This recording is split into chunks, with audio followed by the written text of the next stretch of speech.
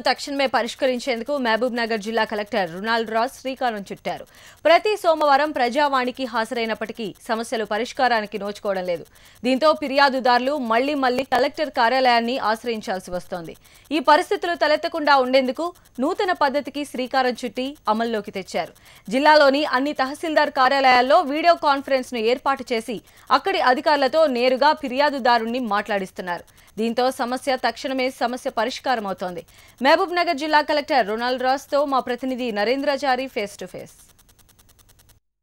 తమ సమస్యల పరిష్కారం కోసం ఎన్నో ఆశలతో కలెక్టర్ మెట్లు కలెక్టర్ కార్యాలయం చేరుకుని ప్రజావాణి బాధితుల కోసం ఇన్నాళ్ళు పాటుగా ఎన్నో ఇబ్బందులు ఎదుర్కొన్నా కూడా ప్రజల సమస్యల పరిష్కారం కాకపోతే నిరుత్సాహంగా తిరిగి వెళ్ళే పరిస్థితి మహబూబ్నగర్ జిల్లా కలెక్టరేట్లో చోటు చేసుకుంది. అయితే ప్రస్తుతానికి జిల్లా కలెక్టర్ రుణాల్ రోజు గారు కొత్త విధానాన్ని ప్రవేశపెట్టడం జరిగింది. ఇప్పుడే వీడియో కాన్ఫరెన్స్ ద్వారా తక్షణ పరిష్కారం కోసం ఆయన కృషి చేస్తున్నారు. ప్రస్తుతం మనం కలెక్టర్ గారితో పాటు ఉన్నాం అడిగి తెలుసుకున్నాం దీనికి ఎలా ఎలాంటి చర్యలు చేపట్టబోతున్నారు? ముందు ముందు ఎలాంటి కార్యక్రమ చ- చరణ రూపొందించబోతున్నారు? సార్ నాకు తెలుసు సార్ చెప్పండి అంటే ఈ కొత్త విధానం అంటే ప్రజావాణి సమస్యలు పరిష్కరించేది కొత్త ఎంతవరకు సక్సెస్ అవుతుంది? అంటే ఇప్పుడు మండల స్థాయిలోనే గ్రీవెన్సెస్ అన్నీ కూడా సాల్వ్ కావాలన్న ఒక ఉద్దేశంతో మన జిల్లా స్థాయి అధికారులని మండల్లో కూర్చొని ప్రజావాణి కండక్ట్ చేయమని అక్కడ పంపించడం జరుగుతున్నాయి. దానివల్ల మండల స్థాయి అధికారులు అందరూ కూడా ఒక చోట్ల కూర్చుంటారు. గ్రీవెన్సెస్కి ఎవరికైనా కావాలో ఫస్ట్ మండల లెవెల్లో పరిష్కారానికి అక్కడ వెళ్ళాల్సిన అవసరం ఉంటుంది. అక్కడ కాకపోతే ఇక్కడ డిస్ట్రిక్ట్ కలెక్టర్ దగ్గర రావడానికి మనం వాళ్ళకు చెప్పడం జరుగుతుంది. అలాగే ఇక్కడ వచ్చిన వాళ్ళు కూడా డైరెక్ట్గా మండల్తో మనం కనెక్ట్ చేయాలనే ఉద్దేశంతో అన్ని మండలాల వీడియో కాన్ఫరెన్స్ ద్వారా ప్రజావాణి హాల్ కనెక్ట్ చేయడం జరిగింది. ఇక్కడ వచ్చిన పెటిషనర్స్ డైరెక్ట్గా వాళ్ళతో మాట్లాడిస్తున్నాము. జిల్లా అధికారులతో కానీ లేకపోతే మండల స్థాయి అధికారులతో డైరెక్ట్గా మాట్లాడడం వల్ల కూడా సమస్యలు ఏంటనేది అందరం కూడా నోట్ చేసుకుంటున్నారు.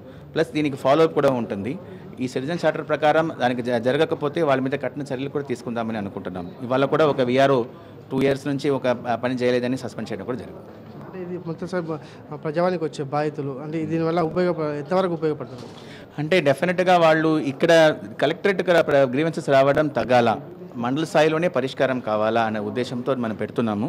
సో మండల స్థాయిలో వాళ్ళు వెళ్ళి పరిష్కారం అవుతే మంచిది లేకపోతే ఇక్కడ వస్తే కూడా డెఫినెట్గా పరిష్కారం అవుతుంది అని ఒక నమ్మకం కూడా వాళ్ళకి పెరుగుతాయి అనేది నమ్ముతున్నాం చిన్న విషయం లాస్ట్ నగదు రహిత లావాదేవీలపైన కూడా మీరు ప్రత్యేకమైన శ్రద్ధ వహిస్తున్నారు. అంటే ఇప్పుడు ట్రైనింగ్ క్లాసెస్ ఎప్పుడెప్పుడు జరుగుతున్నాయి? సార్?